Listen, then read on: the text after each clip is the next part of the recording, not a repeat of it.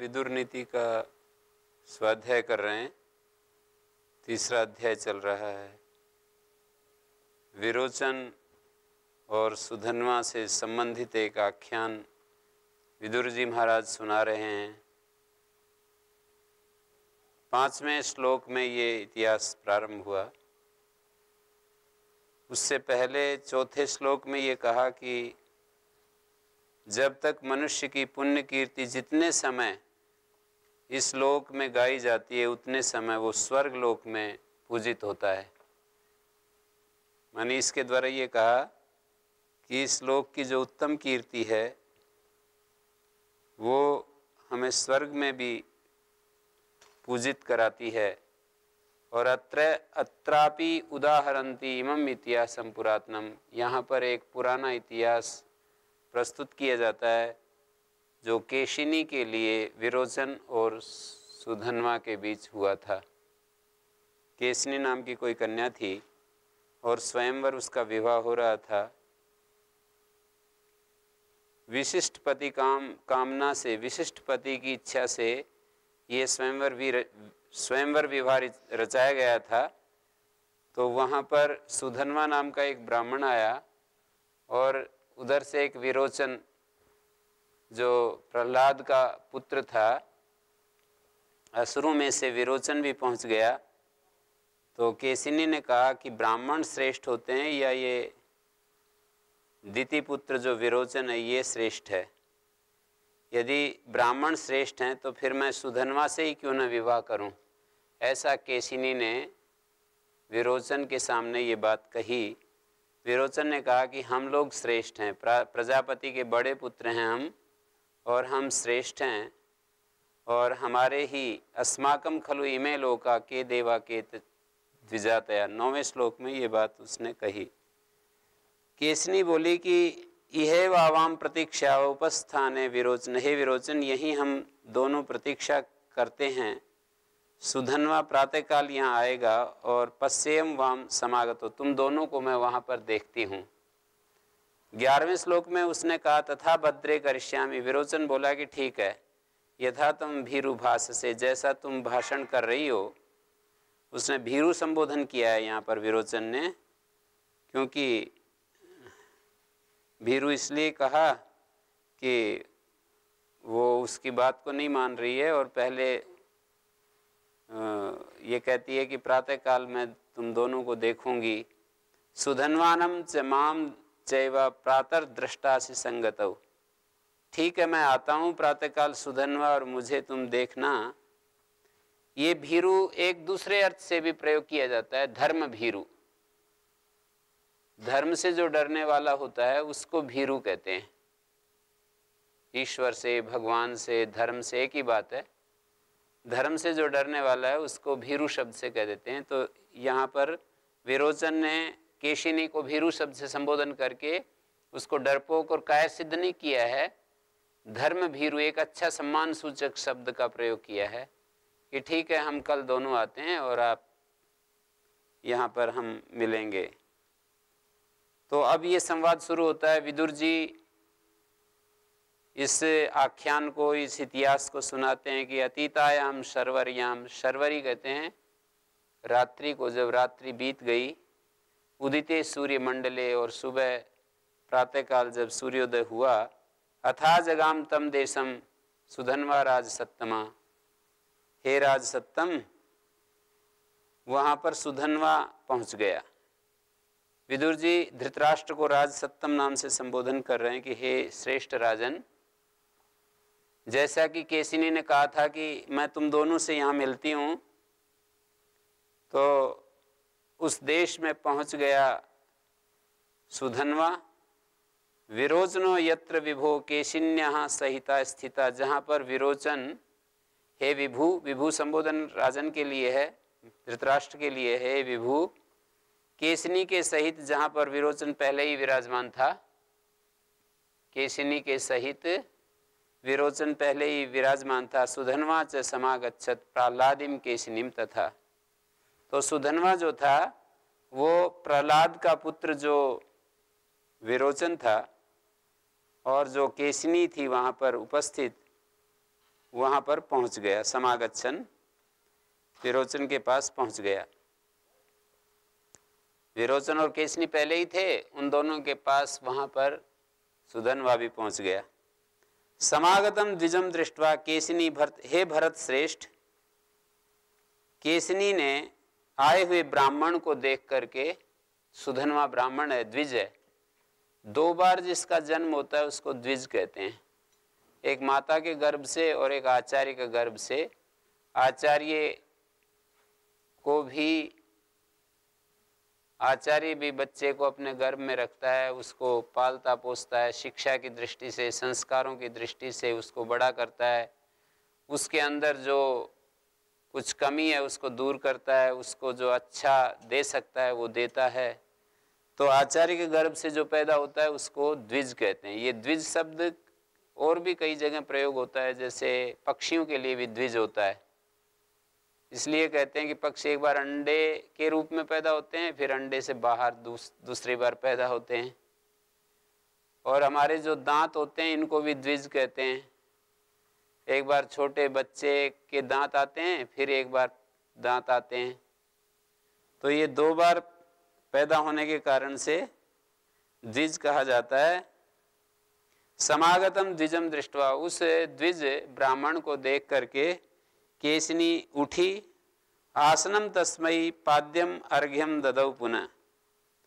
उसको आसन दिया, पैर धोने के लिए जल दिया और आचमन करने के लिए, पीने के लिए जल दिया। अर्घ्य जो है, आचमन के जल को अर्घ्य कहते हैं। पाद्य कहते हैं, पैर धोने के लिए। आसन दिया बैठने के लिए। हमारी जैसे परंपरा है, उसके अनुसार पहले आसन देते हैं। पैर धोने के लिए जल और मुख धोने के लिए, मुख प्रक्षालन के लिए जो जल होता है, उसको अर्घ्य कहते हैं। ये सब दिया। सुधनवा बोलता है कि अनवा लभे हिरणमयम। प्रहलादे ते वरासनम। एकत्व उपसन्नो नत्वा से हम त्वया सह। तो जैसे अपने स्थान पर वो ब्राह्मण आया है तो केसनी ने उसके लिए जो आसन दिया, उस आसन पर पहले ही वो बैठा हुआ था। विरोचन जो है, विरोचन भी उसको बोल दिया कि मेरे साथ इस आसन पर बैठिए। सोने का जो आसन है, स्वर्ण निर्मित जो आसन है, केसरी ने तो बोला ही, उसने भी कह दिया कि आइए, ये सोने का आसन है, इस पर बैठिए। स्वर्ण निर्मित, हिरणमयम। हिरणमय जो सोना, सोने का आसन बना हुआ जिस पर मैं, वो बैठा था, उसी के लिए कहा कि इस पर बैठिए। अनवाल अबे हिरणमयम प्रहलादे ते वरासनम। तो सुधनवा कहता है, हे प्रहलादी का संबोधन है, प्रहलादे, प्रहलाद शब्द होता है और एक प्रहलादी जैसे दशरथ शब्द होता है और एक दाशरथी, दशरथ का जो पुत्र है, दाशरथी राम को कहते हैं। इसी तरह से प्रहलाद का जो पुत्र है, विरोचन, उसको प्रहलादी शब्द से कहा जा रहा है। तो प्रहलादी को संबोधन में प्रहलादे बनता है वो सुधनवा कहता है कि ठीक है, इस आसन को मैंने ऐसे स्पर्श करता है, अनवा लभे अनवाल अभे स्पर्श करता हूँ। इस स्वर्णमय आसन का जो तुम्हारा ये श्रेष्ठ आसन है, इसको मैं केवल मैं स्पर्श करता हूँ। एकत्व उपसन्न नत्वा से हम त्वया सह। एकत्व बराबरी को प्राप्त हुआ मैं इस आसन पर। इस आसन पर तो वो बैठे जो तुम्हारे बराबर हो, और मैं तो तुम्हारे से श्रेष्ठ हूँ। मैं इस आसन पर नहीं बैठूँगा। एकत्व उपसन्नो। एकत्व को प्राप्त हुआ व्यक्ति इस आसन पर बैठने का अधिकारी है। नत्वा से, यहाँ पर एकत्व उपसन्ना, इसके बाद अपनी तरफ़ से वाक्य पूरा करेंगे। एकत्व को प्राप्त हुआ व्यक्ति ही इस आसन पर बैठे, पर मैं नहीं बैठूँगा। नत्वा से हम त्वया से मैं तुम्हारे साथ ही शासन पर नहीं बैठूँगा। तो विरोचन गुस्से में आकर के बोला तवार हते तु फलकम कूर्चम वाप्यथवा वृषि सुधनवन तम अर्होसी न तम अर्होसी मया सह समा, समासनम। तुम्हारे लिए तो कोई फलक लाया जाए लकड़ी का पाटा लाया जाए दर्भ का कोई आसन दिया जाए कोई वृषि बटे हुए दर्भ से बना पीढ़ा जो होता है वो तुम्हारे लिए लाया जाए हे सुधनवन। तुम न अर्होसी तुम मेरे साथ बैठने के लायक काबिल नहीं हो। मेरे साथ बैठने की पात्रता तुमने, तुम में नहीं है। तुम्हारे लिए तो कोई फलक, कोई काष्ठ का पाटा, कोई पीढ़ा इस तरह कोई चीज़ लाई जाए। सुधनवा बोला, देखो, ऐसी बात नहीं है। पिता पुत्रो सहा सीताम साथ साथ या तो पिता पुत्र बैठ सकते हैं। दो कोई ब्राह्मण हो तो वो बैठ सकते हैं। क्षत्रिय अपनी यदि दो क्षत्रिय हैं समान मित्र बल वाले राजा, वो बैठ सकते हैं। वृद्धो वैश्यो, और कोई दो वृद्ध हैं, वो बैठ सकते हैं। और कोई वैश्य हैं, वे बैठ सकते हैं, दो। और शूद्र, दो शूद्र हैं तो वह वो बैठ सकते हैं। न तो अन्य इतरेतरम। एक दूसरे के साथ कोई इनसे अतिरिक्त थोड़ी बैठ सकते हैं। अन्य जो दो हैं, वो एक दूसरे के साथ नहीं बैठ सकते। मैं ब्राह्मण हूँ, तुम असुर हो, मैं और तुम दोनों एक आसन पर कैसे बैठे? पिता ही ते समासीनम, उपासी तेव माम अध, बाल सुख दितोगे है, न तुम किंचन बुद्ध से। हे विरोचन, तुम्हारा पिता ऊपर बैठे हुए मेरे नीचे बैठकर सेवा करता है। समासीनम, उपासीत एव माम अधा, मेरे नीचे बैठा हुआ मैं ऊपर बैठा हूँ और वो तुम्हारा पिता नीचे बैठा है और फिर उपासित मेरी उपासना करता है, सेवा करता है। बाला सुखे दितोगे है, घर में तू बच्चा है सुख पूर्वक बढ़ गया है, तुझे कुछ पता थोड़ी है कि क्या शिष्टाचार है? न तुम किंचन बुद्ध से। तुम शिष्टाचार को नहीं जानते हो और इस तरह की बच्चों की जैसी बातें करने लग रहे हो। बालय का मतलब यहाँ बच्चा मतलब ज्ञान की दृष्टि से बच्चा। उम्र में बच्चा नहीं था। ज्ञान की दृष्टि से बच्चा कह रहा है कि बाला तुम सुख दितोगे है घर में जो है ऐसे बड़े लाड प्यार से पल करके बड़े हो गए हो, शिष्टाचार को जानते नहीं हो, इसलिए तुम मुझे अपने साथ बैठने को कह रहे हो। अज्यो भवती वही बाला, पिता भवती। मनु ने कहा है कि बाल की परिभाषा की है, जो अज्ञानी है वो बालक होता है, पिता भवती मंत्रदा। जो मंत्रदा होता है, विचार देने वाला होता है, वो पिता हो जाता है। जिस पिता ने किसी को जन्म दिया, वो बालक यदि विचारवान हो जाता है, मंत्रदाता हो जाता है तो उल्टा हो जाता है रिलेशन जो बच्चा है, बालक है, वो पिता हो जाता है और पिता पुत्र हो जाता है। जो ज्ञान में बढ़ गया है, एक जो एक पिता पुत्र का रिलेशन है, शरीर का, वो तो बना रहता है कि ये पिता हैं, ये पुत्र हैं। पर ज्ञान का जो रिलेशन है, वो चेंज हो जाता है। पिता पुत्र का जो रिलेशन है, शरीर को जन्म देना, उसको पाला, पोसा, बड़ा किया, वो तो बना रहता है, उसको समाप्त नहीं कर रहे हैं। पर एक ज्ञान का अलग रिलेशन एक पैदा हो जाता है कि जो ज्ञानी है, वो पिता है हमारे यहाँ, और जो अज्ञानी है, वो बालक है। तो सुधनवा कह रहा है, पिता ही ते समासीनम माम। मुझ बैठे हुए की नीचे बैठ करके मैं आसन पर बैठा हूँ और तुम्हारा पिता अध उपासित। वो मेरी सेवा करता है। उपासना करता है मैंने, यहाँ सेवा करता है। बाला सुखे दितोगे है तुम तो घर में जो है सुख से बढ़े हो, पले हो। बोलते हैं ना, सुख से पले हो। न तुम किंचन बुद्ध से। विरोचन कहने लगा, हिरण्यम च गवास्व च यद वित्तम असुरेशु न, सुधनवन विपणे तेना प्रश्न पृछा व ये विदु। विरोचन कहने लगा, हे सुधन, सुधनवन असुरेशु हम असुरों के पास जो भी अच्छा धन है, हिरण्य है, गाय और घोड़े हैं, और जो धन है उसकी शर्त लगाकर हम उनसे प्रश्न पूछें जो इस हमारी श्रेष्ठता के विषय में कोई जानते हैं। हम दोनों में कौन श्रेष्ठ हैं इस बारे में उनसे प्रश्न पूछें। प्रश्न पृछाव। हम प्रश्न पूछें, ये विदु, जो हमारी श्रेष्ठता के बारे में जानते हैं, सुधनवन विपणे तेना मतलब सोना, गाय घोड़े और जो धन अच्छे से अच्छा है अन्य जो धन है, उसकी शर्त लगाकर तेन उस धन के द्वारा हम विपणे शर्त लगाते हैं।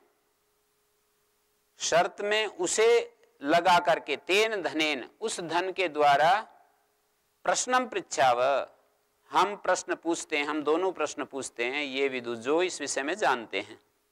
सुधनवा बोला, बिल्कुल ठीक। हिरण्यम च गवास्वम च तवय वस्तु विरोचना। हे विरोचन हिरण्य, गाय घोड़े और धन तो तुम्हारे पास ही रहने दो। हम प्राणों की बाजी लगाकर, प्राणों का ये जो शर्त है, वो लगा करके पूछते हैं, ये विदु जो हमारे श्रेष्ठत्व को जानते हैं, जो हमारे बारे में जानते हैं कि कौन श्रेष्ठ हैं। केसनी वहाँ पर बैठी है और उसके सामने ये चर्चाएँ चल रही हैं। कि हम प्राणों की शर्त लगाते हैं, ये सोना, चांदी और मतलब जो विजयी हो जाएगा, उसको उसको, उसके हाथ में प्राण होंगे। तो प्राणयोस्तु पणम कृत्वा प्राणों की शर्त लगाकर, पण कहते हैं शर्त को, प्राणों की शर्त लगा करके हम प्रश्न पूछते हैं, ये विदु, जो हमारे इस बारे में जानते हैं। विरोचन ने कहा, आवाम कुत्र गमिष्या प्राणयोर विपणे कृते। प्राणों की बाजी लगाकर, प्राणों की शर्त लगाकर हम कहा जाएँगे? हम दोनों प्राणों की शर्त लगाकर कहा प्रश्न पूछेंगे? क्योंकि वो कहता है न तो देवेशु हम स्थाता देवों में तो मैं नहीं रहूँगा। देवों पर मुझे भरोसा नहीं है। दो थे ये देव और असुर। प्रजापति के अभी मैंने कल आपके सामने ये बात कही थी कि प्रजापति की दो सं, दो संतान थी। एक देव थे दूसरे असुर थे। असुर जो है वो बड़े थे, देव छोटे थे तो वो कह रहा है न तो देवे स्वयं स्थाता मैं देवों को अपना निर्णायक नहीं बनाऊँगा न मनुष्य और मनुष्यों को भी नहीं बनाऊँगा, और असुरों को तुम नहीं बनाओगे। हम कहाँ जाएँगे? प्राणों की शर्त लगा करके किससे पूछेंगे? ये जो है, मध्यस्थ किसको बनाएँगे? विरोचन असुरों की अपेक्षा देवों और मनुष्यों को वो हीन समझ रहा है। असुरों की अपेक्षा देवों को और मनुष्यों को हीन समझ रहा है, वो इस प्रश्न को पूछने के लिए उनके पास हीनता अनुभव कर रहा है कि हम उसके पास देवों के पास या असुरों के पास नहीं जाएँगे। तो सुधनवा कहता है कि चलो इसका निर्णय तो मैं ही कर देता हूँ। कहाँ जाने, कहाँ जाना है, कहाँ जाएँगे? ये बात भूमिका के रूप में मैंने कल आपको बताई थी कि प्रजापति की दो पत्नी थी, एक दीति, एक अदिति। दीति के जो पुत्र हुए, उनको असुर कहते हैं दैत्य, और अदिति के जो पुत्र हुए, उनको आदित्य कहते हैं देव। असुर बड़े थे, आयु शक्ति में भी बलवान थे, देव छोटे थे। कश्यप प्रजापति के उत्तराधिकारी के रूप में बड़े होने के कारण ये पृथ्वी असुरों को प्राप्त हुई। असुरों ने अपने भाई देवों को भूमि का कुछ भी भाग नहीं दिया तो देव और असुरों में दाय भाग निमित्त बड़ा भारी युद्ध हुआ। कई सौ वर्ष चलता रहा। तो इसी को देवासुर संग्राम कहते हैं। अंत में असुर लोग अभिमान के कारण पराभूत हो गए और देवों की विजय हुई। ऐसी कथा है। तो अब ये जो विरोचन है, वो कहता है कि देवों में मैं नहीं ठहरूँगा। मतलब उनको अपना मध्यस्थ नहीं बनाऊँगा और मनुष्यों को भी मैं मध्यस्थ बना, बनाऊँगा। वो तो हमसे बहुत छोटे हैं। तो हम कहाँ जाएँगे? विरोचन ने जब ये बात कही तो सुधनवा कहता है पितरम ते गमिष्यावा प्राणय और विपणे कृते। हम तुम्हारे पिता के पास चलते हैं, वही बताएगा। कितनी मतलब बड़ी बात कह दी कि पिता का ही नाम ले दिया उसके, कि हम पिता के पास चलते हैं। पितरम ते गमिष्यावा, तुम्हारे पिता के पास चलेंगे। प्राणों की शर्त लगा करके पुत्र से हेतु प्रहलादो नानृतम वदेत। मुझे विश्वास है, पुत्र के हेतु से भी प्रहलाद झूठ नहीं बोलेगा। पुत्र के हेतु से भी प्रहलाद झूठ नहीं बोलेगा। ये भारतीय संस्कृति का उज्जवल चित्र है। कि सुधनवा को यह दृढ़ निश्चय था कि प्रहलाद असुर होते हुए भी पुत्र के लिए झूठ नहीं बोलेगा। भारतीय संस्कृति सत्य को सर्वोपरि स्थान देती है। धर्म शास्त्रकारों ने सत्य की महिमा को वर्णन करते हुए सो अश्वमेध एक तरफ़ और सत्य एक तरफ़ तो सत्य को बड़ा बता दिया है। सो अश्वमेध अश्वमेध यज्ञ होता है, बहुत जो अंतिम कोटि का जो पुण्य जिनको मिलता है, वो अश्वमेध यज्ञ का परिणाम बताया है। और ऐसे सो अश्वमेध करे और एक सत्य भाषण करे तो उसकी तुलना में उससे भी अधिक महत्व बताया है। तो विदुर जी कहते हैं, एवं कृत पणो क्रुद्धो तत्र अभिजगमतुस्तदा विरोचन सुधनवानो प्रहलादो यत्र तिष्ठति। जहाँ प्रहलाद, जहाँ पर प्रहलाद था पहले से ही तो विरोचन और सुधनवा दोनों प्रतिज्ञाबद्ध होकर के और क्रोध में भरे हुए वहाँ पहुँच गए प्रहलाद के पास। क्रुद्ध अभिजगमतु अभिजगमतु मानी पहुँच गए दोनों प्रतिज्ञाबद्ध होकर के कृतपणव शर्त लगा करके, पण शर्त कृत कृतपणव शर्त लगा करके पहुँच गए। प्रहलाद कहता है, इमौ तो संप्रदृश्यते याभ्याम न चरितम सह। अरे, ये दोनों आज कैसे साथ साथ दिखाई दे रहे हैं? कभी पहले तो इनको देखा नहीं था। याभ्याम न चरितम सह, जिन दोनों ने कभी साथ साथ गमन नहीं किया, विचरण नहीं किया, आज कैसे दिखाई दे रहे हैं? आशी विषय क्रुद्धो आशी विष सर्प को कहते हैं। दो भयानक जैसे सर्प होते हैं, क्रोध में भरे हुए। एक मार्ग इह आगतो। एक मार्ग वाले, मानी एक ही मार्ग से यहाँ पर पहुँचे हैं। क्या चक्कर है? भयानक सर्पों के समान क्रुद्ध हुए, एक ही मार्ग से यहाँ कैसे आ गए? किम वही सहैवम चरथ, न पुरा चरत सह। विरोचन तत्पृछामी किंते सख्यम सुधन सुधनवना। अब प्रहलाद जी अपने बेटे से ही पूछ रहे हैं, किम वही सह एवं चरथ? हे, तुम दोनों कैसे इस प्रकार साथ साथ विचरण कर रहे हो? किम वही सह एवं चरथ? निश्चय से वही निश्चय से। कैसे तुम साथ साथ विचरण कर रहे हो? न पूरा चरत सह। कभी पहले तो विचरण किया नहीं, ऐसे साथ साथ गमन किया नहीं। विरोचन एतत् पृछामी विरोचन ऐसा बन रहा है। विरोचन एतत् पृछामी मैं ये बात पूछना चाह रहा हूँ, किंते सख्यम सुधनवना। सुधनवा के साथ मित्रता हो गई है क्या? तो विरोचन कहता है, न मे सुधन वना सख्यम, प्राणयोर विपणा महे मेरी कोई मित्रता नहीं है। सुधनवा के साथ मेरी कोई मित्रता नहीं है। हम तो प्राणों की शर्त लगा करके यहाँ आए हैं। प्राणयोर विपणा वहे प्राणों की शर्त लगाए हुए हैं। प्रहलाद तत्व पृछ्यामी माँ प्रश्न मनृतम वदे। विरोचन कह रहे हैं कि, हे प्रहलाद, हम वास्तविकता को पूछना चाहते हैं, तत्व पृछ्यामी मैं वास्तविकता को पूछना चाहता हूँ, माँ प्रश्न मनृतम वदे। हमारे प्रश्न को झूठ मत बोलना, अनृतम माँ वदे मतलब असत्य मत बोलना। वास्तविकता पूछना चाहता हूँ, प्रश्न के विषय में असत्य मत बोलना। प्रहलाद कहता है, उदकम मधुपरकम वापी आनयंतु सुधनवने, ब्रह्मन अभ्यर्चनीयों सी श्वेता गौ पीवरी कृता। अब विरोचन ने कहा कि हम तो प्राणों की शर्त लगा करके आए हैं और हम प्रश्न वास्तविकता को पूछना तत्व पृछामी तत्व पृछामी वास्तविकता को पूछना चाहता हूँ। माँ प्रश्न मनृतम वदे।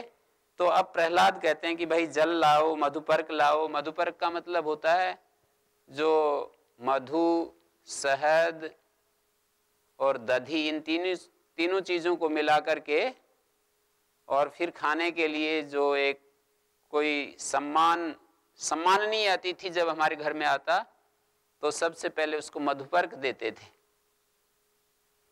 मधुपर्क, सबसे पहले आसन देते हैं, आसन के बाद पैर धोने का जल देते हैं, उसके बाद मुख प्रक्षालन के लिए जल देते हैं, अर्घ्य देते हैं फिर खाने के लिए मधुपर्क देते हैं, ये क्रम है। विवाह संस्कार में भी प्रारंभ में ये क्रियाएँ दोहराई जाती हैं मतलब कि ऐसे ऐसे गृहस्थ आश्रम में आप लोगों को करना है। वर आता है तो वो आसन, वधु की तरफ़ से उसको आसन दिया जाता है। आसनम, इदम, विष्टर विष्टर विष्टर प्रतिगृहताम ऐसे बोलते हैं। फिर वो आसन पर बैठ जाते हैं, पाद्यम पाद्यम प्रतिगृहताम अर्घ्य अर्घ्य अर्घ्य, ये तीन बार तो उसको ज़ोर देने के लिए कह रहे हैं, ये जल है जल है, कृपया इसको ग्रहण कीजिए।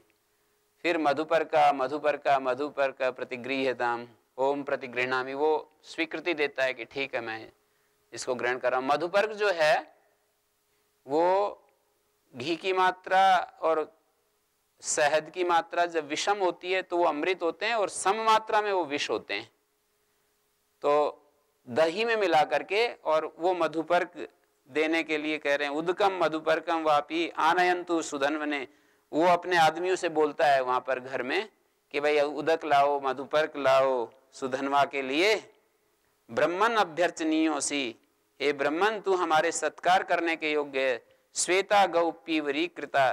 ये सफ़ेद गाय खूब हमारी पाली पोसी हुई, खूब मोटा ताज़ा की हुई है, पीवरी कृता।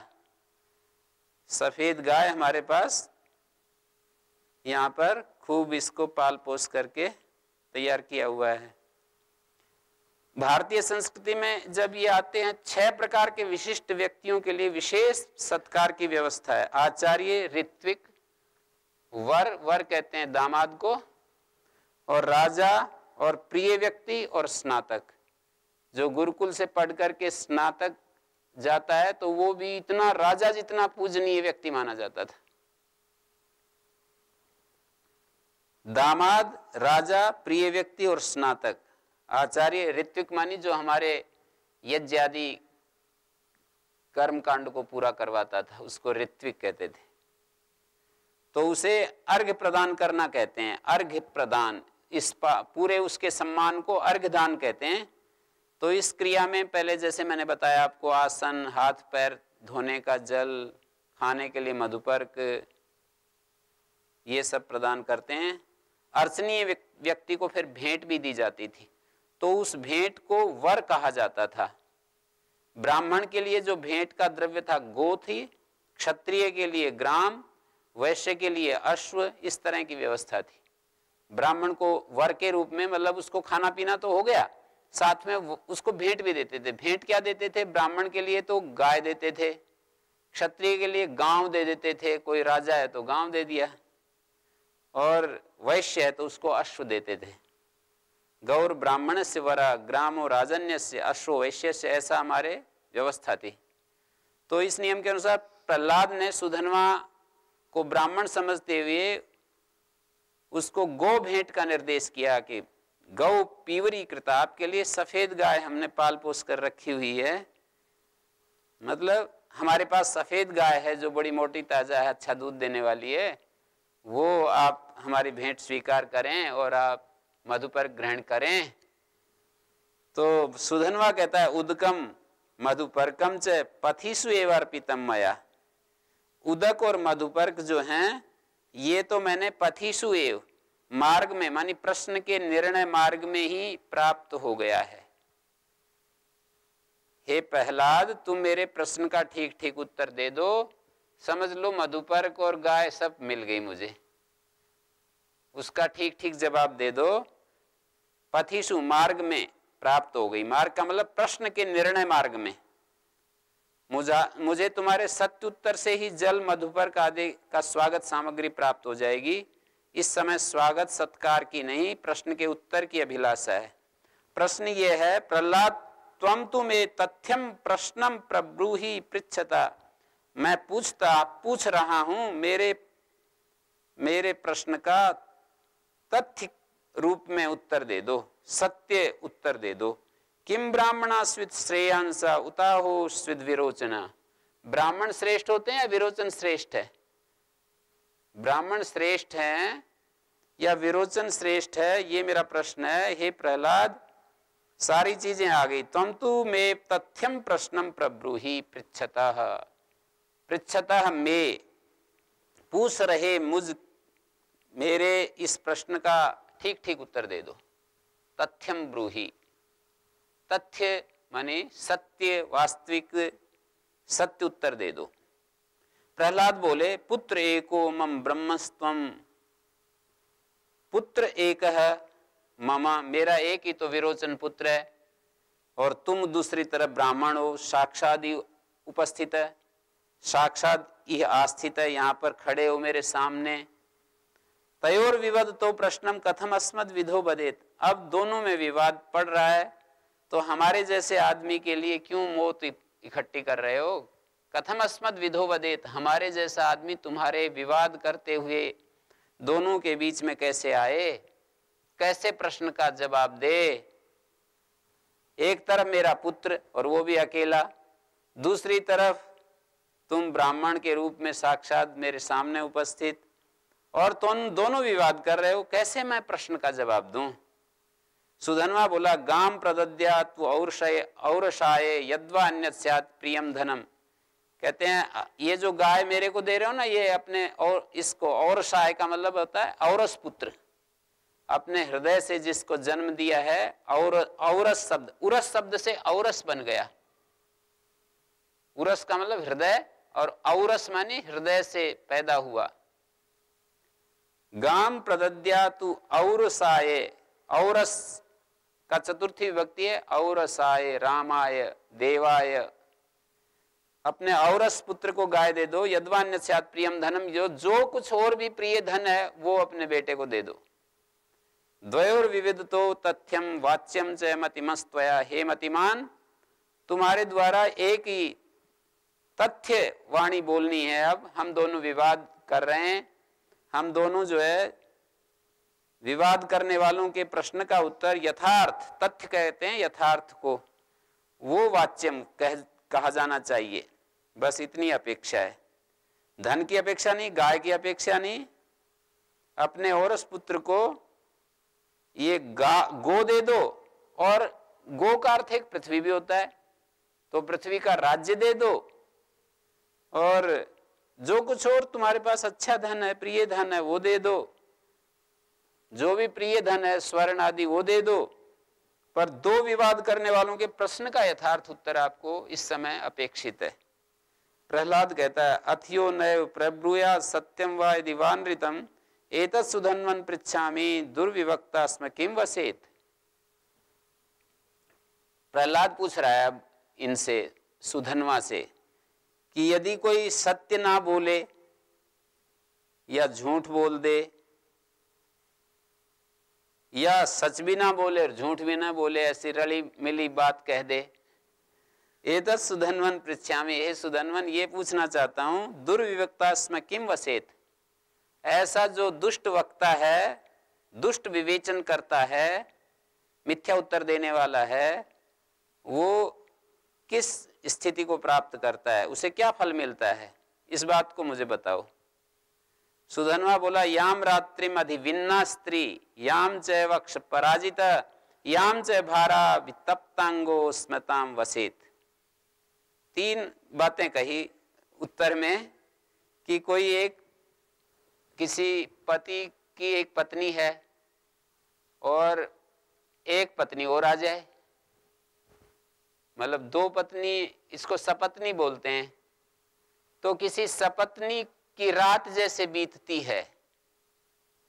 याम च रात्रिम जिस रात्रि को अधिविन्ना स्त्री मतलब जिसकी दूसरी एक वो और होती है, शोक बोलते हैं, क्या बोलते हैं?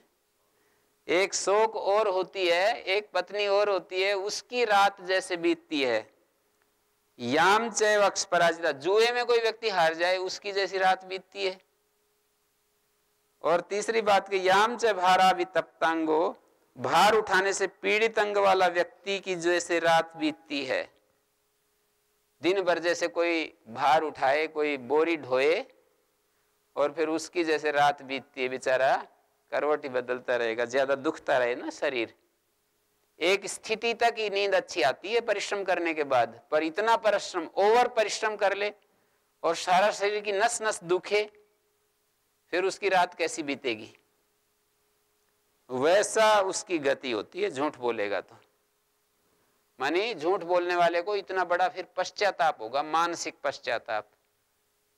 जैसे ये तो शारीरिक कष्ट और मानसिक कष्ट भी है, जैसे कोई पत्नी है, दूसरी एक पत्नी है तो ये कोई शारीरिक कष्ट नहीं है। ये तो मानसिक कष्ट का उदाहरण है। जुए में कोई हार जाए, ये भी मानसिक कष्ट का उदाहरण है। और शारीरिक ये जो है, कोई भार ढोने वाला भार उठाने से पीड़ित अंग वाला व्यक्ति, ये शारीरिक कष्ट है तो मानसिक और शारीरिक दुख को अनुभव करते हैं जैसे ये लोग। कृत सपत्नी का स्त्री, सपत्नी जिसकी साथी नहीं है, ऐसी स्त्री जुए में हारा हुआ भार ढोने से पीड़ित अंग वाला पुरुष रात में जैसे नींद को प्राप्त नहीं होता, जागता रहता है तो उसी दुख को अयथार्थ उत्तर देने वाला भी प्राप्त होता है। उसे भी रात्रि में मानसिक बेचैनी रहती है। गलत बात कहेंगे, गलत साक्षी देंगे, अयथार्थ उत्तर देंगे तो उसको भी मानसिक बेचैनी होगी, उसको नींद नहीं आएगी। ऐसा कहा। नगरे प्रतिरुद्धा सन बहिर्द्वारे बुभुक्षिता, अमित्रान भूय से पश्चेद यश साक्षी यश साक्ष्यम अनृतम वदेत सुधनवा ने अपनी दूसरी बात कही कि नगर में प्रवेश से रोका हुआ हो कोई व्यक्ति, नगरे प्रतिरुद्धा सन पहले एक नगर की ऐसी व्यवस्था होती थी। नगर का एक द्वार होता था, वहाँ पर संतरी बैठा रहता था। नगर में वो उसकी चारों तरफ़ एक दीवार होती थी। उसमें नगर में सबको जाने का अधिकार नहीं था। तो नगर में प्रवेश करने के लिए नगरे प्रतिरुद्धा वो अंदर जाने के लिए रोक दिया बाहरी भूखा बैठा है बेचारा। बहिर्द्वारे बुभुक्षिता। बाहर द्वार पर ही भूखा बैठा हुआ है। प्रतिरुद्ध मानी रोका हुआ, अंदर जाने से रोका हुआ, बुभुक्षिता, और वो भूखा ही बैठा है। अमित्रान भूय से पश्चेद यह साक्ष्यम अनृतम वदेत। जो अनृत जो झूठी साक्षी देता है, झूठ बोलता है, वो अमित्रान भूयसा पश्चेद बहुत अमित्रों को, शत्रुओं को देखता है। अमित्र मानी शत्रु। भूयसा मानी बहुत सारे, वो बहुत सारे शत्रुओं को देख, देखता है जो साक्षी को अनृत के झूठ के रूप में, झूठी साक्षी देने वाला जो वदेत, शत्रुओं से घुरा हुआ व्यक्ति जिस दुख को अनुभव करता है तो ऐसे ही झूठी साक्षी देने वाला व्यक्ति भी उस दुख को प्राप्त होता है। मिथ्या साक्षी देने वाले व्यक्ति का कोई विश्वास नहीं करता। झूठी गवाही देने वाले का कोई, वो अपने एकाकी अनुभव करता है और उस सुनेपन से उस लॉनलीनेस बोलते हैं ना, उस एकाकीपन में मन में बहुत उसको पीड़ा होती है। पंच पशु अनृते हंती, दश हंती, गवान रीते सुधनवा, और अगली बात कहता है, जैसे कि कोई आदमी पशु के लिए झूठ बोले तो उसने पाँच पशु अनृते पशु के लिए झूठ बोलने पर पंच पंचहंती यूँ समझ लो कि पाँच पीढ़ियों को उसने मार दिया। पाँच जो पीढ़ी हैं, पशु के लिए झूठ बोला तो पाँच पीढ़ियों को उसने मार दिया। ये निंदा परक अर्थवाद है। अर्थवाद जो होते हैं, किसी चीज़ की प्रशंसा या निंदा करने के लिए बताए जाते हैं। उनका प्रयोजन होता है कि भाई ये बुरा काम है। ऐसा ही ठीक यूँ ही होता है, ऐसा नहीं, उसका अभिप्राय। मतलब पाँच पीढ़ियों को उसने मार दिया, जो हमसे ऊपर पाँच पीढ़ियाँ हैं, उनकी हत्या कर दी। इसका तात्पर्य है कि बहुत गलत काम कर रहा है, जो एक पशु के लिए झूठ बोल रहा है। और दूसरी बात कही, दश हंती गवान रीते।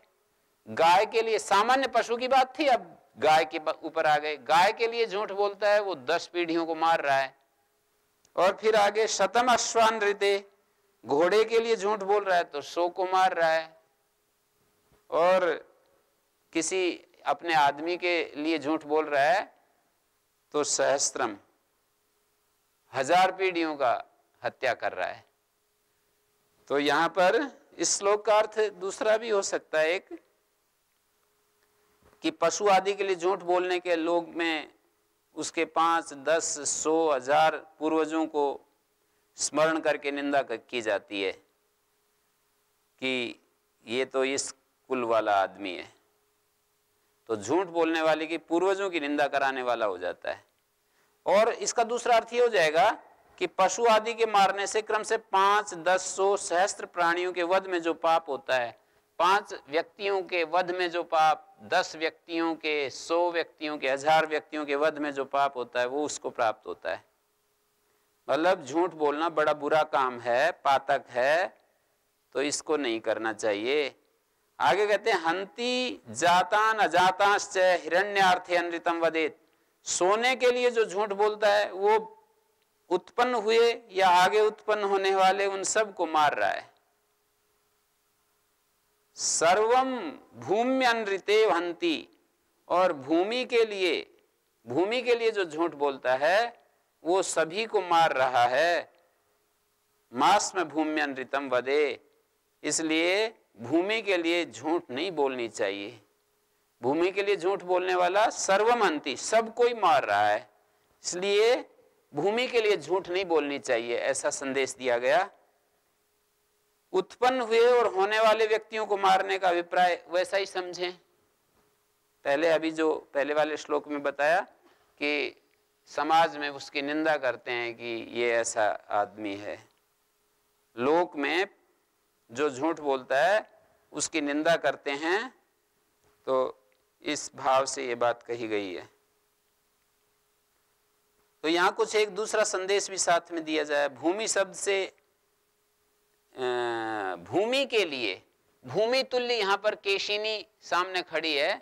सुधनवा कहता है कि केशिनी के लिए तुम्हें झूठ नहीं बोलनी चाहिए। हे प्रहलाद, भूमि के समान जो केशिनी को पुत्र की भारिया के रूप में प्राप्त करने के लिए यदि झूठ बोलोगे तो तुम भी महापापी कहलाओगे। अब प्रहलाद कहता है कि जी, सत्य तो यही है, मत्ता श्रेयान अंगिरा। अंगिरा इसके पिता का नाम है सुधनवा के। मत्ता श्रेयान अंगिरा, सच तो यही है, अब सच की बात कहते हो तो कि मुझसे श्रेष्ठ अंगिरा है। सुधनवा त्वद विरोचन। हे विरोचन, तुम्हारे से श्रेष्ठ ये सुधनवा है। मेरे से श्रेष्ठ इसका पिता है, तुम्हारे से श्रेष्ठ त्वद। त्वद मानी तुम्हारे से श्रेष्ठ सुधनवा है। माता से श्रेयसी मातु और तुम्हारी माता से इसकी माँ श्रेष्ठ है। तस्मात तुम तेन वही जीता तो इस तरह से तुम्हारे जो शर्त थी उसमें तो तुम हार गए। सुधनवा के द्वारा तुम जीत लिए गए, अर्थात तुम पराजित हो गए। सुधनवा जीत गए और तुम हार गए। विरोचन सुधनवार्थम प्राणानाम ईश्वरस्तव सुधनवन पुनरिच्छामी त्वया दत्तम विरोचनम।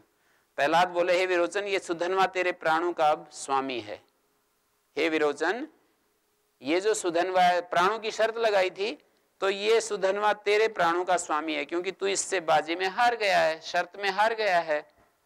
तो हे सुधनवन, मैं तेरे द्वारा दिए हुए विरोचन को अब प्रहलाद कह रहा है सुधनवा से कि हे सुधनवन, मैं तुमसे मांग रहा हूँ अपने बेटे को, क्योंकि अब तो ये तुम्हारे अधीन है, तुम्हारा ही है, अब तुम जो चाहो इसको मारो, ज़िंदा रखो, जो भी करो। हे सुधनवन, मैं तेरे द्वारा दिए हुए इस विरोचन को पुनः चाहता हूँ। मतलब तुम मुझे इसको वापस दे दो प्राणों की बाजी में जीत कर भी इसे प्राण दान कर दो, ये कह रहे हैं। सुधनवा बोला कि यद धर्मम अवृणी था तुम न कामादनृतम वदे वदी ही। वो कहता है कि जिस कारण धर्म का वर्ण किया, स्वीकार किया, धर्मम अवृणी था तुम तुमने धर्म का वर्ण किया, तुम कामना से धर्म को नहीं छोड़ा। न कामाद अनृतम वदी, तुमने काम, कामना से झूठ नहीं बोला। कामना से तुमने मिथ्या नहीं बोला, झूठ नहीं बोला, पुनर्ददामी ते पुत्रम, तस्मात प्रहलाद दुर्लभम। इसलिए प्रहलाद, मैं इस दुर्लभ पुत्र को तुम्हें पुनः दे देता हूँ। कामना से मोहवश तुमने झूठ नहीं बोला, तुम्हारे दुर्लभ पुत्र को तुम्हें वापस लौटाता हूँ। प्राणों की बाजी में हार जाने पर भी इसको जीवन प्रदान करता हूँ, ऐसा सुधनवा ने प्रहलाद को कहा। एस प्रहलाद पुत्रस्ते मया दत्तो विरोचना हे हे प्रहलाद, मैंने इस विरोचन को तुम्हें दे दिया। पाद प्रक्षालनम कुरियात कुमारिया सन्निधो में अब केशिनी कुमारी जो सामने उपस्थित है, कुमारी के सन्निधि में ये मेरा अब पैर धोए, पाद प्रक्षालन करे। तो विरोचन केशनी के सम्मुख मेरे पैर धोकर अपनी अपेक्षा मेरी श्रेष्ठता को स्वीकार करे। विदुर बोले तस्माद राजेंद्र भूम्यर्थे नानृतम वक्तुम अर्हसी। मागमा ससुता मात्यो नासम पुत्रार्थम अब्रुवन। ये इतिहास सुनाने के बाद, अब विदुर जी कह रहे हैं, ये पूरा इतिहास सुनाया केशिनी के लिए, सुधनवा विरोचन के बीच में जो इतिहास हुआ था।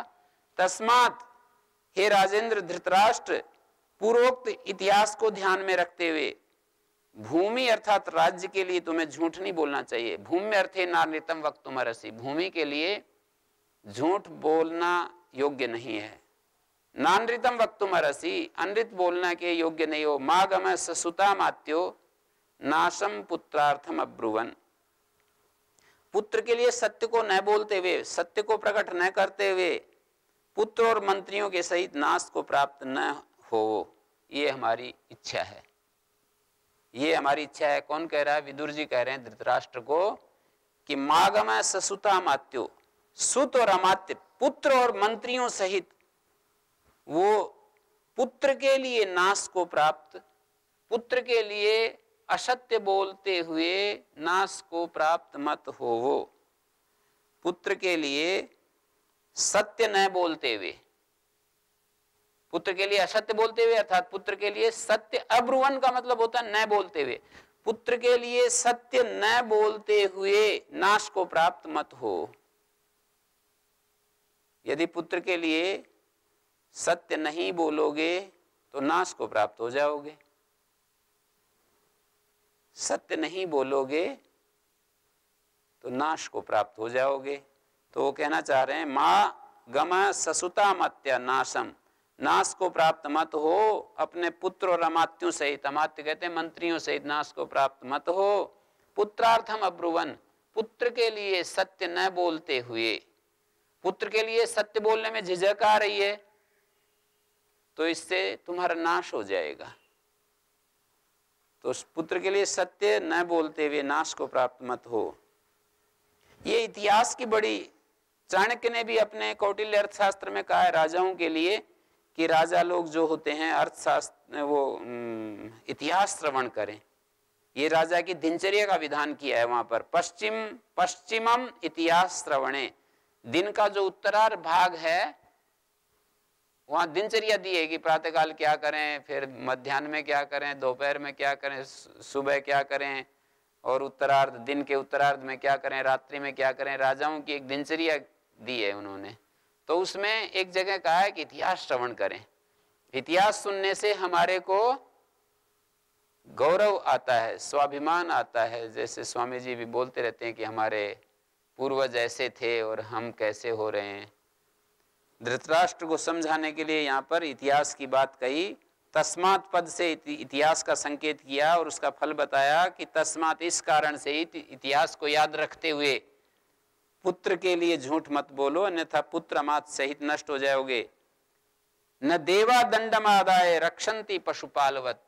देव जो होते हैं, वो दंड लेकर के पशुपालक की तरह वो दंड नहीं देते हैं। जैसे पशुपालक होते हैं, दंडा हाथ में लेकर उनको हाँकते रहते हैं या उनको पिटाई करते हैं तो देव जो होते हैं, वे दंड लेकर के पशुपाल की भांति न रक्षा करते हैं और न ताड़ना करते हैं। यम तो रक्षी तुम इच्छन्ति, बुद्धिया सम विभजंती तम। जिसकी रक्षा करना चाहते हैं, बुद्धि से उसको युक्त कर देते हैं। दूसरे अध्याय में भी एक बात आई, देखिए। दूसरे अध्याय का इक्यासी नंबर श्लोक। दूसरे अध्याय का इक्यासी नंबर श्लोक आप निकालिए। पुस्तक आपके सामने है।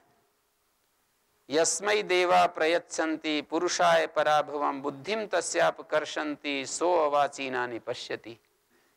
देव, यहाँ पर भी देव शब्द आया, देवा जिस, देव जिसको पराभव देना चाहते हैं, उसकी बुद्धि हर लेते हैं, और वो गलत काम करने में लग जाता है।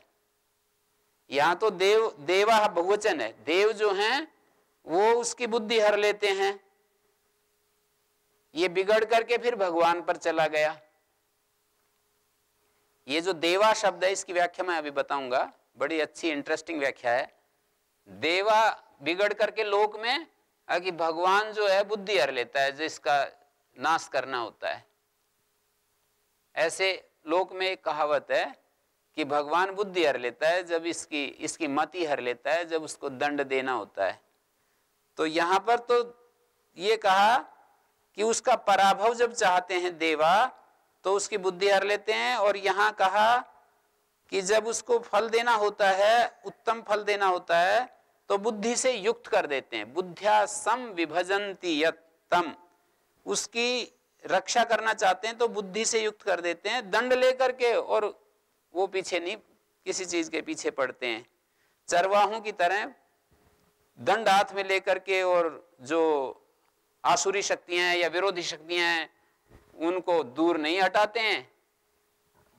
वह बुद्धि दे देते हैं और वो अच्छे काम करता रहता है। तो यहाँ आपको ये समझना है कि ये देव कौन है? तो ये जो देव हैं, ये हमारे कर्म ही हमारे देव हैं। जिसको हम भाग्य कहते हैं, वो है ये, वो है ये देव। दो शब्द होते हैं, एक दैव और एक पुरुषार्थ।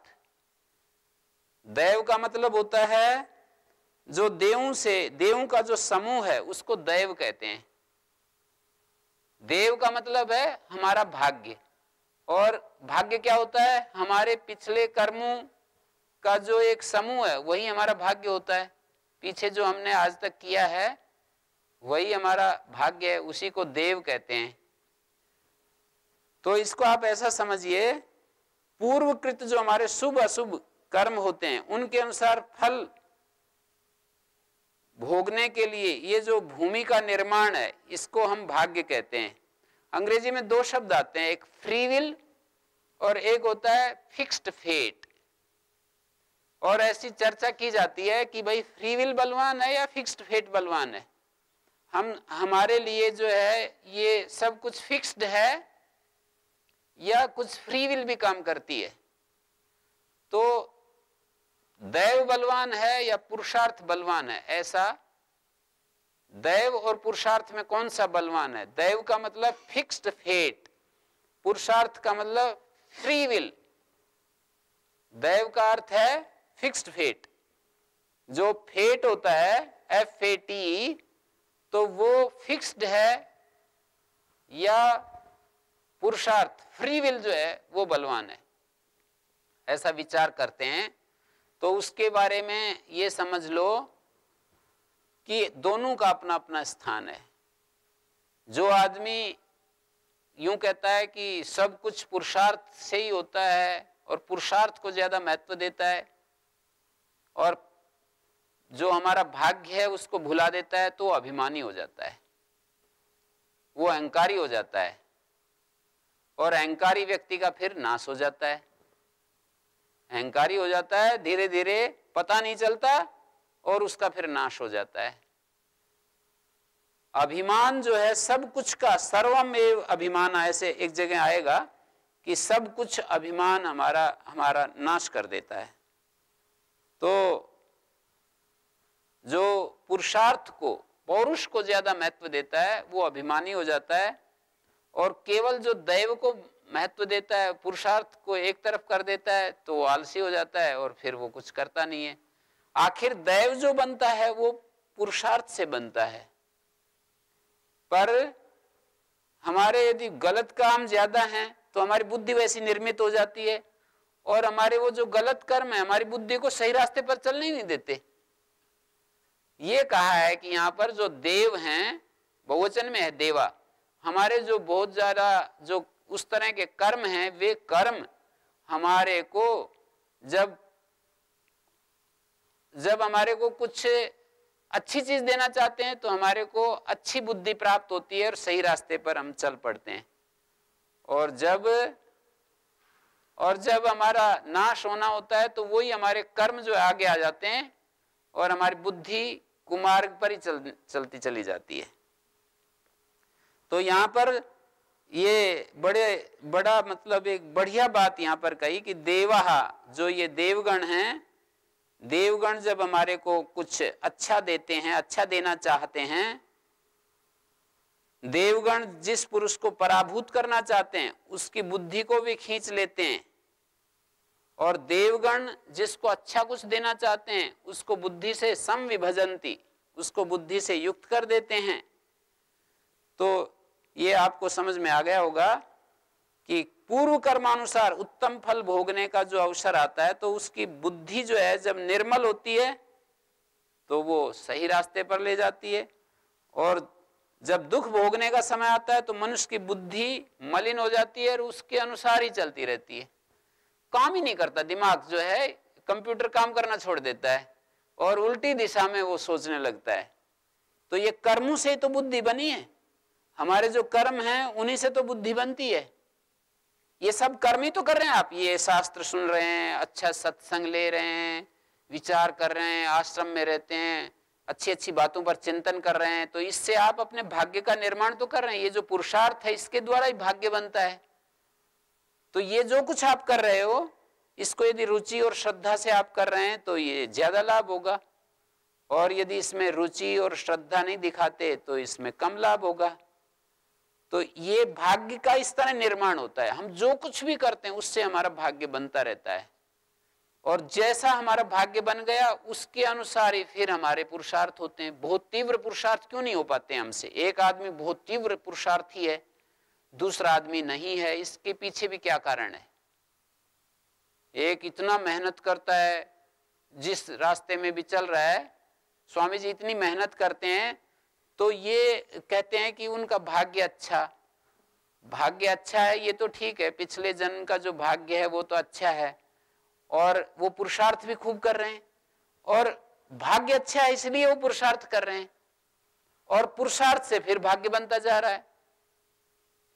तो भाग्य जो होता है, वो हमारा पिछले कर्म के, पिछला जो कर्म है, कल जो हमारा भाग्य होगा, वो आज के पुरुषार्थ से बनेगा।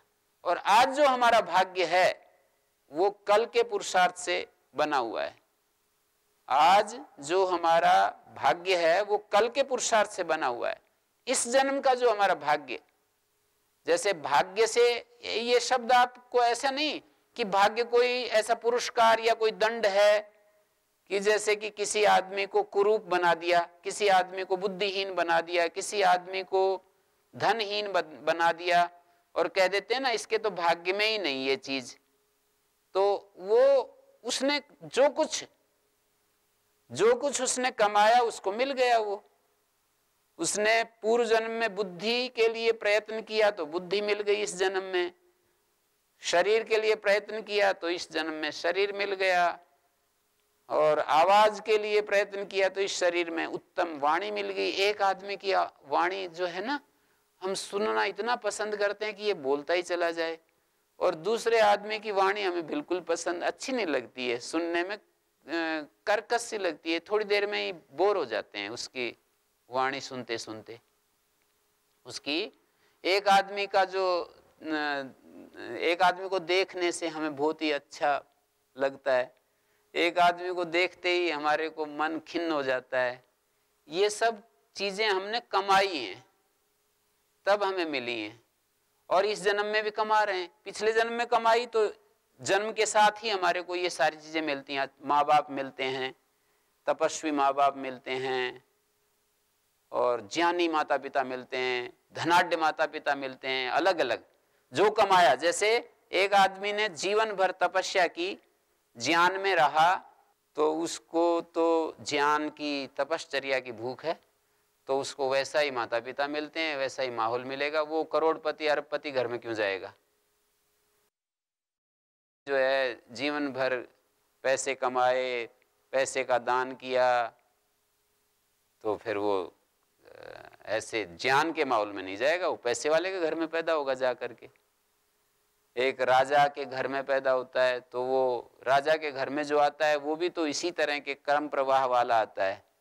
पहले जन्म में भी वो इसीलिए तो राजा के पुत्र राजा हो जाते हैं, उसमें कुछ योग्यता भी क्वालिटी भी आ ही जाती है। पूर्व जन्म का भी गेड़ होता है, प्रवाह होता है, और इस जन्म में भी, वो जो पूर्व जन्म का फ्लो होता है कर्मों का, इसीलिए तो राजा के घर में पैदा हुआ। और इस जन्म में भी वो बाल्यकाल से कर्म शुरू हो जाते हैं। हम किसान के घर में जाकर के बाल्यकाल से ही हमारे फिर वैसे ही कर्मों का प्रवाह चालू हो जाता है। एक विद्वान के घर में हम पैदा होंगे तो कर्म का प्रवाह वैसा ही चालू हो जाता है। तो ये आपको मेरे ख्याल में स्पष्ट हो गया होगा, ये दैव और पुरुषार्थ का जो ये एक बड़ा एक कॉन्सेप्ट है कि इसमें दैव बलवान है। एक बात अच्छी तरह से अपने मन में बिठा लो कि बिना कर्म के हमारे को कुछ भी नहीं मिलता है। जिसको हम दैव कहते हैं, वो कर्मों का ही एक पका हुआ फल होता है। जिसको हम भाग्य कहते हैं, दैव कहते हैं, जिसको हम फिक्स्ड फेट कह रहे हैं, वो फिक्स्ड फेट हमारे कर्मों से बना है। कर्मों से उस तरह का निश्चित हो गया है।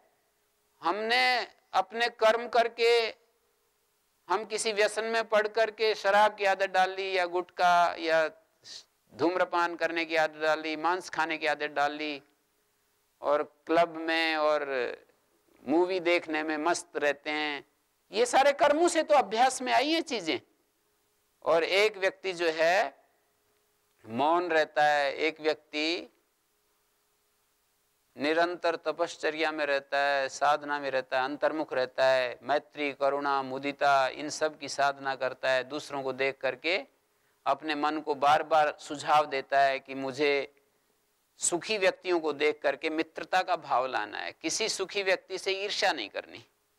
बार बार अपने को सुझाव देता है कि सुखियों को देखकर, सुखी व्यक्तियों को देखकर मुझे ईर्ष्या नहीं करनी। ईर्ष्या भी कर सकता है, सुझाव देगा तो वो उस पर रोक लगेगी ईर्ष्या पर।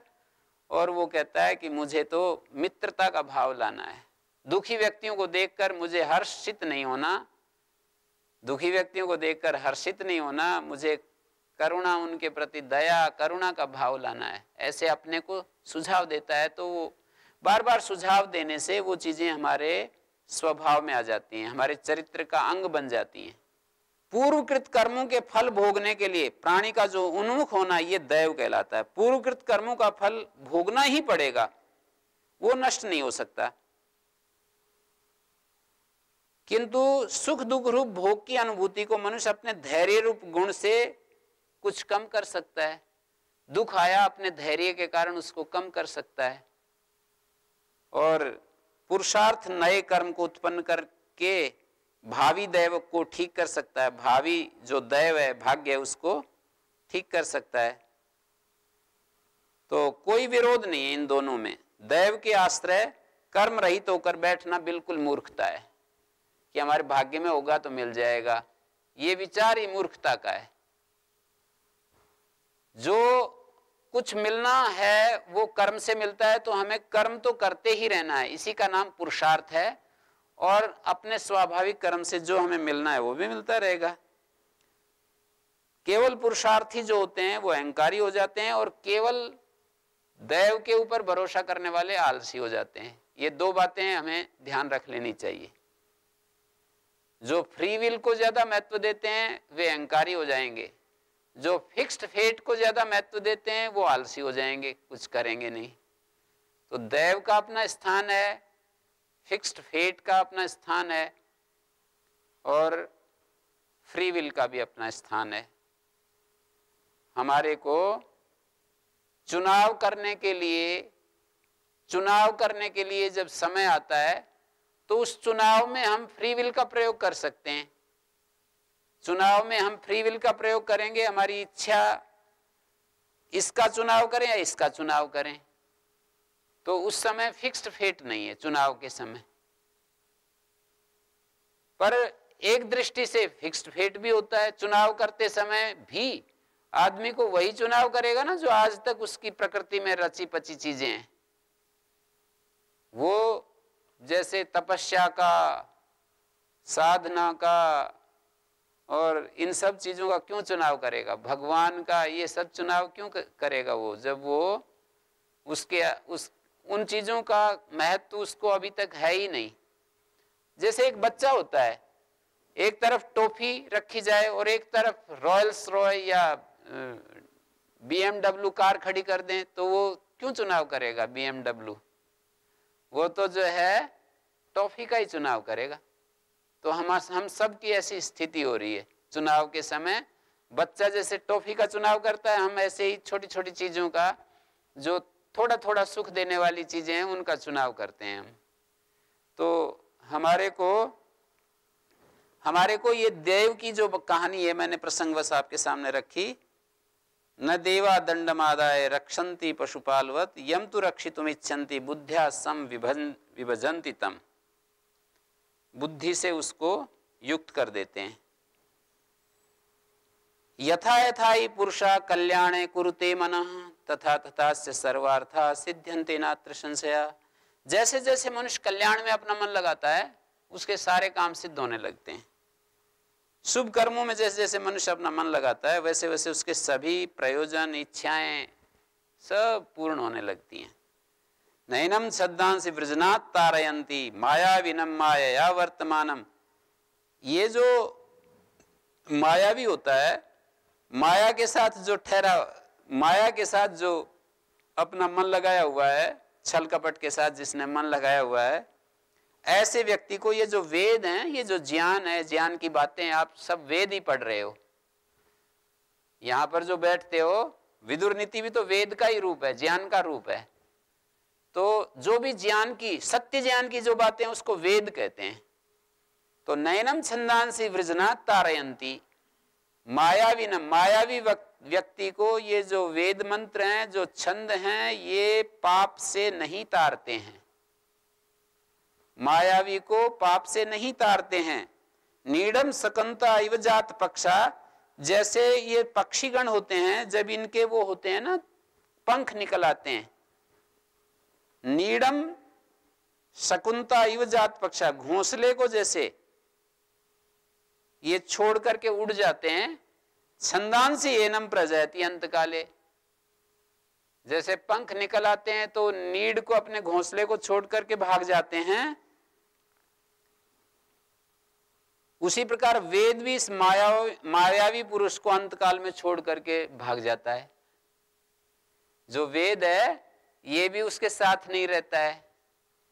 जैसे घोंसले के साथ नहीं रहता, जब पंख निकल आते हैं तो वो छोड़ करके पार जाता है।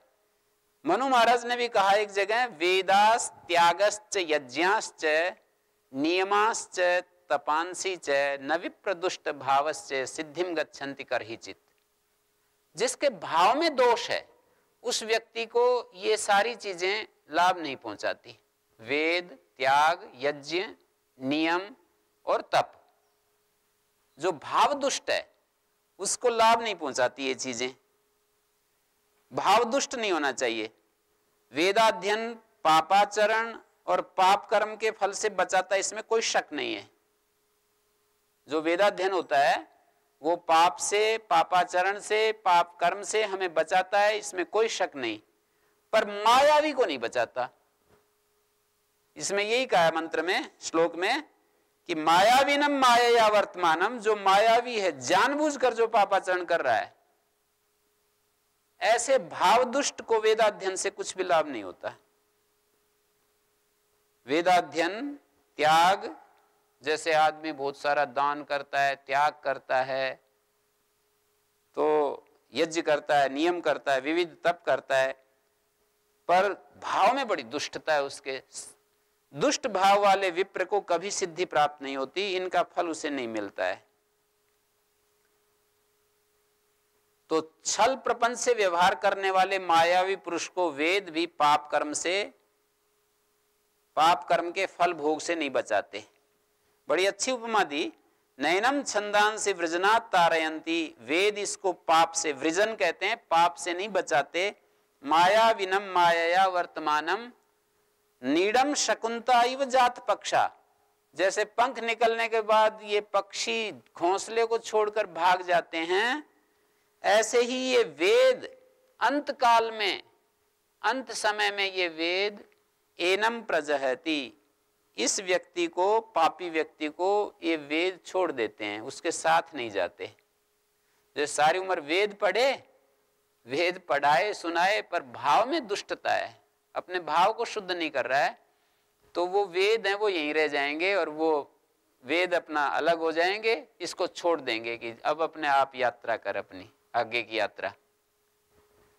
अगली यात्रा, अभी इस जन्म में किसी व्यक्ति ने वेद पढ़ा उसके सहारे उसने खूब धन, ऐश्वर्य और भोग खूब इकट्ठा कर सकता है वो तो।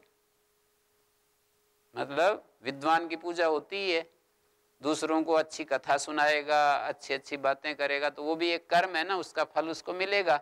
पर अपना संस्कार नहीं कर रहा। दूसरों को तो बता रहा है, पर उन बातों से अपना अपना निर्माण नहीं कर रहा है, अपने आप को नहीं बना रहा है तो ऐसे व्यक्ति को अंत काल में वेद छोड़ देते हैं। वो व्यक्ति का जो अपना स्वभाव है वही साथ जाता है अगले जन्म में। यदि वो क्रोधी है तो वो क्रोध साथ चला जाएगा, वेद साथ नहीं जाएगा, उसके कि उसकी रक्षा कर दे अब। लोभी है तो लोभ साथ जाएगा, मोही, अहंकारी ईर्षालु कामी, जो भी कुछ है, वो साथ चले जाएँगे। और आगे एक बात कहा, मद्यपानम कलहम पूग वैरम भार्यापत्योंतरम जाति भेदम, राजद्विष्टम स्त्री पुंसयोर विवादम वर्जान्य आहु यश्च पंथा प्रदुष्टा।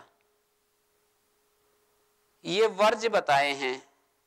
क्या क्या शराब पीना, कलह करना, लड़ाई झगड़ा करना, समूह से वैर करना।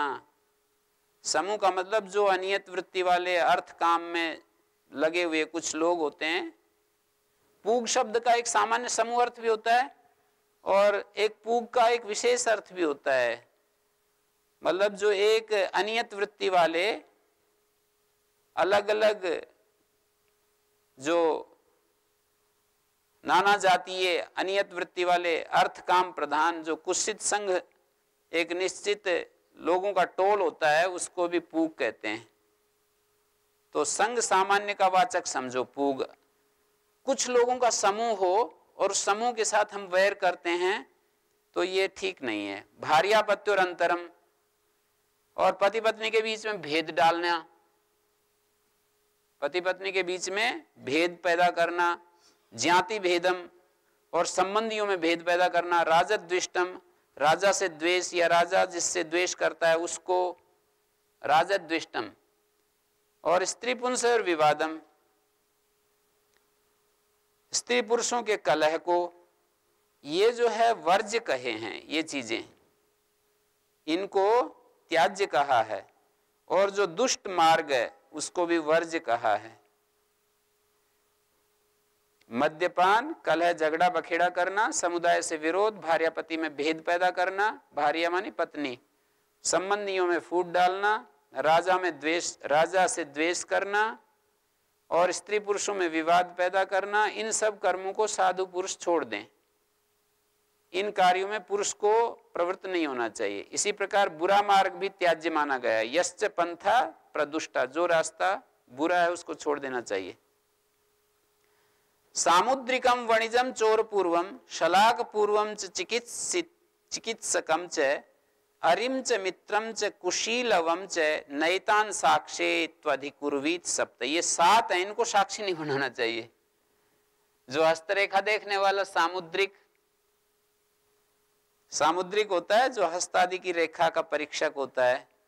वणिजम जो बनिया होता है, चोर पूर्वम पहले जो चोर होता है।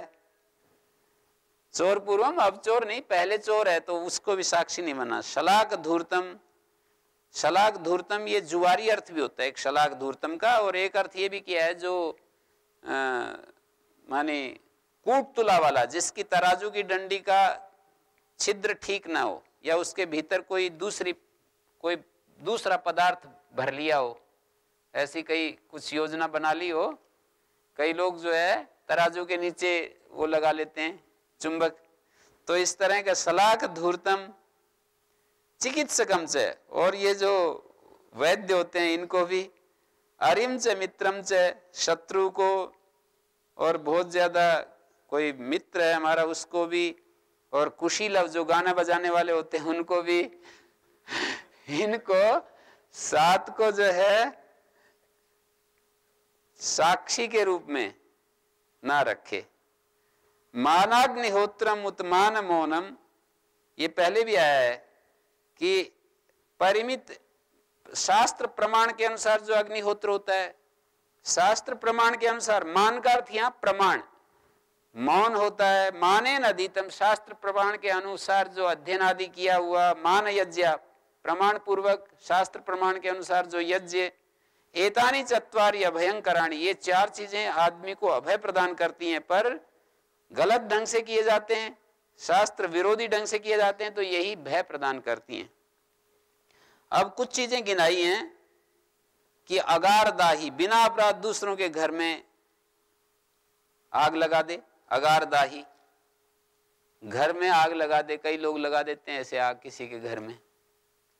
गर्द है, दूसरे को विष दे दे, कुंडाशी, कुंड से खाने वाला सर्वभक्षी। कुंडाशी, कुंड से खाने वाला मतलब सर्वभक्षी, जो कुछ खाने के लिए तैयार हो जाए। एक और भी अर्थ होता है, कुंडाशी का कुंडासी शब्द का एक अर्थ और होता है कि जो कुंड नामक अपत्य, जो पति के जीते हुए व्यभिचार से उत्पन्न हो, उसको कुंड कहते हैं।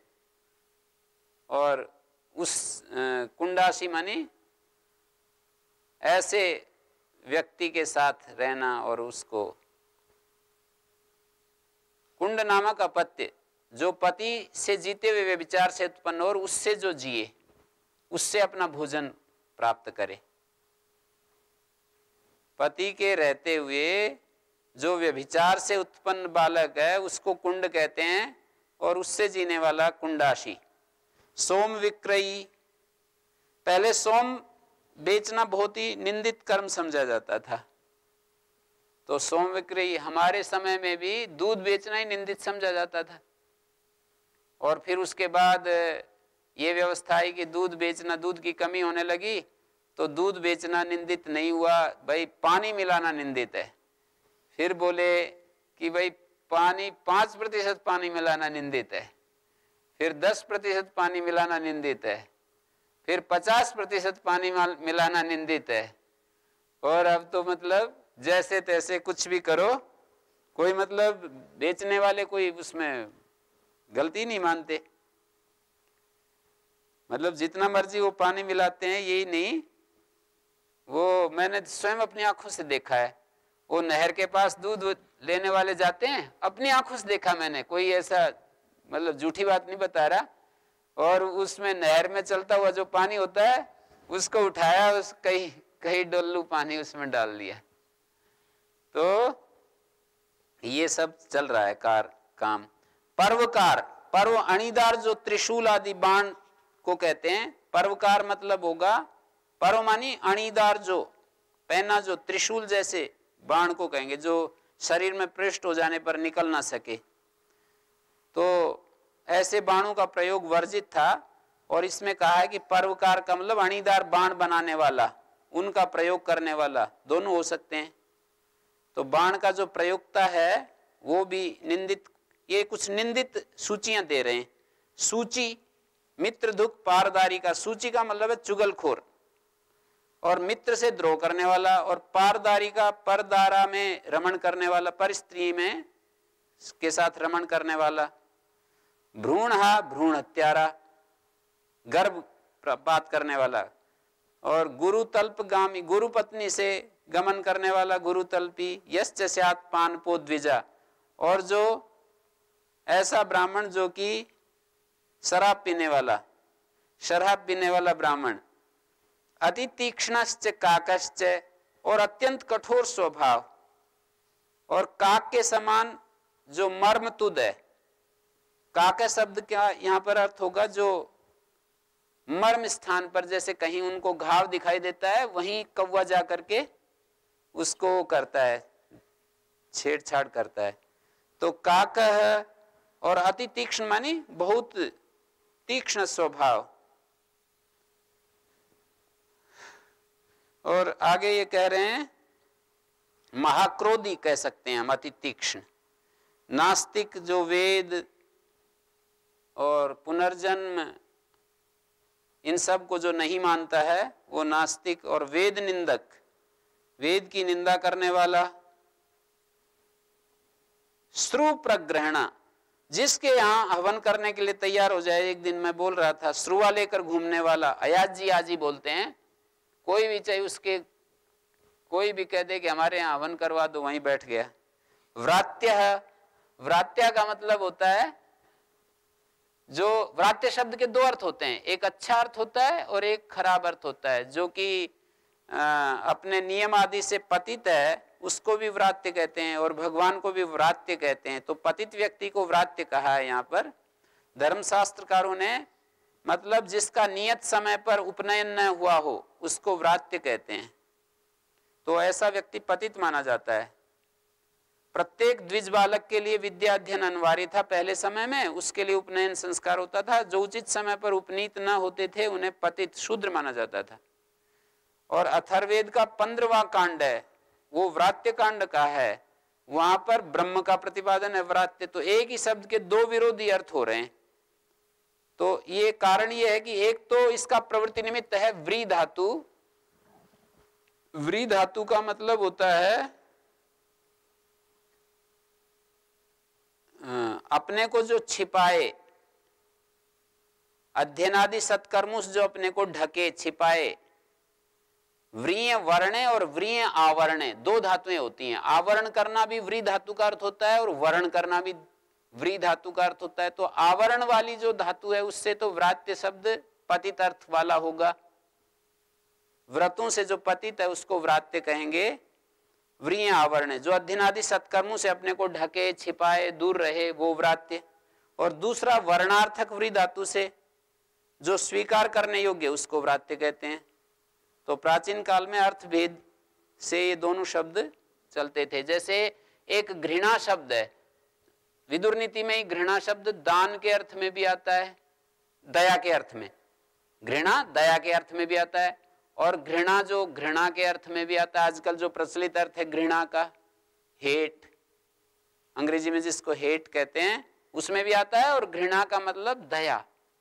तो पॉजिटिव अर्थ भी है, नेगेटिव अर्थ भी है कभी कभी ऐसा होता है।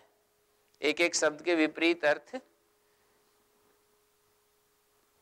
व्रात्य कीनाश। है कीनाश का मतलब होता है, कीनाश का मतलब यहाँ पर, वैसे तो किसान होता है, पर यहाँ किसान अर्थ नहीं है, यहाँ क्रूर अर्थ है। क्रूर। और आत्मवान आत्मवान का मतलब है यहाँ पर क्रूर और समर्थ, बहुत ही ज़्यादा जो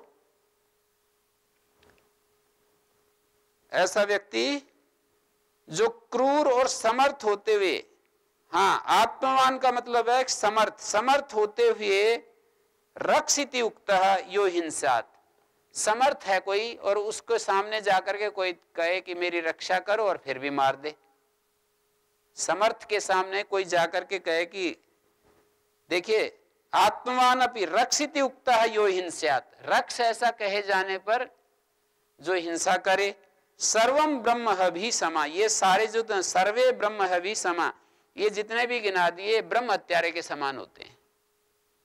इसमें जो गिना दिए कि ये लोग ब्रह्म हत्यारे के समान होते हैं। तृणोल कया ज्यायते जात रूपम वृत्तेन भद्रो व्यवहारेण साधु, शूरो भयेश्वर्थ कृच्छेशु धीरा कृच्छेशु आपत्सु सुहृदश्चारयश्च। तो त्रिणोलका से जात रूप सोने की पहचान होती है। मानी छेदन और तपाने से तृण कहते हैं, तृण तृण का तिन का अर्थ भी होता है एक, और तृण का मतलब छेदन करना। छेदन से और उल्का तपाने से। चतुर्भि प्रकार कनकम परीक्षते निर्घर्षण छेदन तापन ताड़नई। चार प्रकार से सोने की प्रकाश ओ, परीक्षा होती है। एक तो कसोटी पर घिसने से, छेदन काटने से और तापन मानी उसको तपाने से और ताड़ नहीं मानी चोट मारने से। तो तृण शब्द यहाँ छेदन अर्थ वाली त्रिद धातु से बना है तो इसका छेदन अर्थ बिना खिंचाता नहीं गए, हम कर सकते हैं। और उल्का का अर्थ अग्निज्वाला होता है। तो तृणम च उल्का से तृणोल्कम।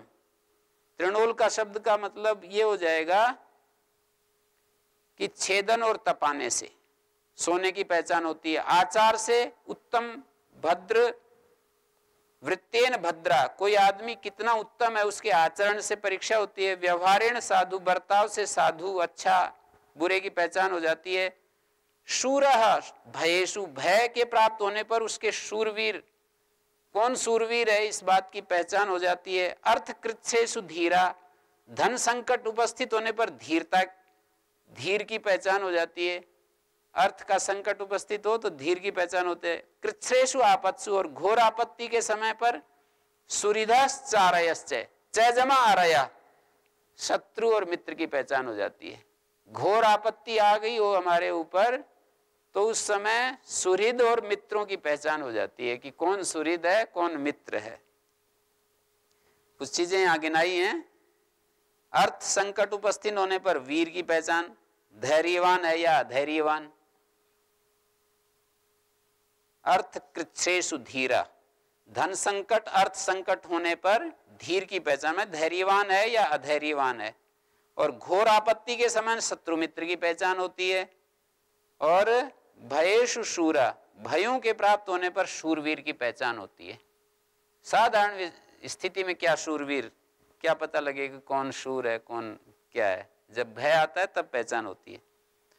जरा रूपम हरती ही धैर्य आशा जरा जो है रूप को खा जाती है और धैर्य को आशा, धैर्य को जो आशा है ना, जो हमारी इच्छा है, इच्छा बलवती होती है तो आदमी को धैर्य धारण नहीं करने देती। जैसे किसी आदमी का प्रिय वियोग हो जाए, किसी प्रिय व्यक्ति का वियोग हो जाए, अब वो धैर्य धारण नहीं कर पा रहा है क्योंकि उसकी इच्छा थी कि ये मेरे साथ रहे। अब वो वो जो है, वो चला गया। मृत्यु प्राणान धर्मचर्याम असूया मृत्यु प्राणों का हरण कर लेती है। और जो असूया होती है, धर्मचर्या का हरण कर लेती है। धर्म के आचरण को असूया मानी गुणों में दोषारोपण। किसी के गुणों में दोष देखना धर्मचर्या को नष्ट कर देती है। क्रोध श्रियम और क्रोध जो है, धन संपत्ति और शोभा को नष्ट कर देता है।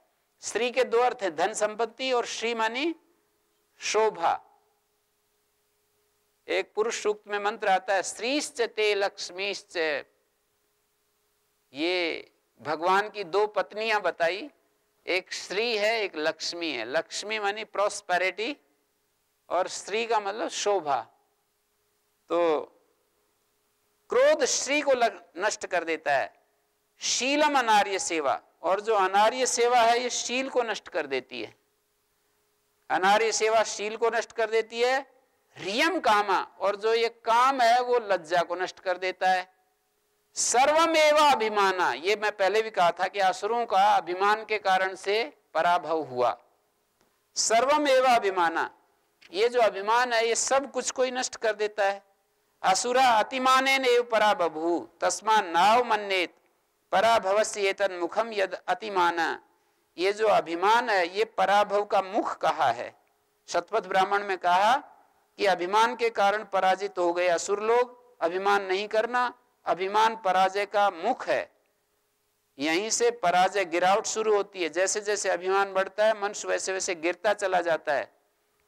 और यहाँ पर एक लोभ की बात कही कि लोभश्चेद गुणेन किम पिशुनता, यद्यस्त किम पात कही। यदि लोभ हो तो अन्य अवगुणों की क्या आवश्यकता? लोभी पुरुष में अन्य सभी अवगुण स्वयं उपस्थित हो जाते हैं। और चुगल, चुगली का गुण, अवगुण हो, झूठी चुगली करता है तो किसी में दोष हो तो अन्य पातक कर्मों की क्या आवश्यकता? चुगली करने का दोष हो तो दूसरे पापों की क्या आवश्यकता? चुगलखोर ने समझो कि सारे पाप कर लिए। तो ये शिक्षाएँ चल रही हैं। शेष हम कल विचार करेंगे। आज यही विराम देते हैं। ओ